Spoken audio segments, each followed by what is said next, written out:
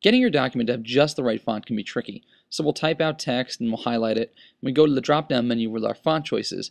Now there are hundreds and sometimes thousands of choices of fonts to choose from. Hmm, alright, let's give this one a shot and see if it looks good.